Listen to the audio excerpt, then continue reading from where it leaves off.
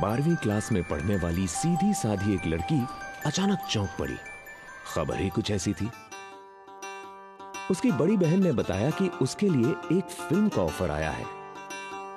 School का dance और theatre अलग बात थी, पर फ़िल्म घर वाले रिश्तेदार कोई नहीं मानेगा। पर कुछ अजीब हुआ कि सब मान गए।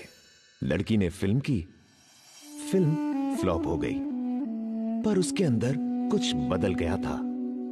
सपनों का एक छोटा सा पौधा खिल गया था। और ये लड़की बनी हिंदुस्तान के दिलों की धड़कन। धक धक गर्ल, माधुरी दीक्षित। कॉलेज के दौरान भी माधुरी छोटे मोटे रोल्स करती रही, पर सभी फ़िल्में फ्लॉप हुईं। लेकिन इन नाकामियों के बावजूद उनका हौसला और बुलंद होता गया। कश्मीर में फ़िल्म आवारा बाप की शूटिंग के दौरान किसी ने माधुरी को मशहूर शोमैन सुभाष घाई से मिला दिया, जो पास ही शूट कर रहे थे। हीरे को जैसे जौहरी मिल गया। सुभाष जी ने माधुरी को कर्मा में एक डांस नंबर ऑफ़र किया। गाने को फ़िल्म में तो जगह नहीं मिली, पर माधुरी को सुभाष घाई की अगली फ़िल्म राम लखन में लीड रोल मिल गया था। एक शोमैन के अंदाज में ही सुभाष घाई ने माधुरी का लॉन्च प्लान किया। पर माधुरी का लॉन्च शायद सबसे बड़े शोमैन ने ऊपर बैठकर अपने हाथों से प्लान किया था। एन चंद्रा की तेजाब पहले रिलीज़ हुई और एक, दो, तीन करते हुए मोहिनी जैसे सीधे स्वर्ग से स्क्रीन पर उतर आई। उसके बाद के दो सालों में माधुरी दीक्षित की 18 फ़िल्में रिलीज़ हुई।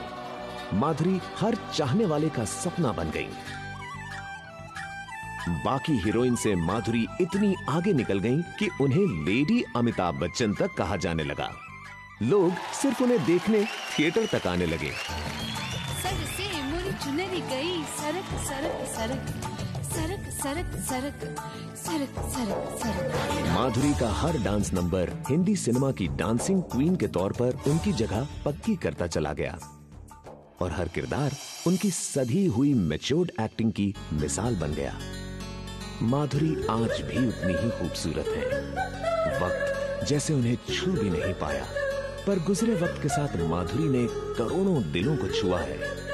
आज भी हर लड़की कहती है, मुझे माधुरी दीक्षित बनना है। और हर लड़का उनके लिए कहता है, दिल तो पागल है, दिल दीवाना है।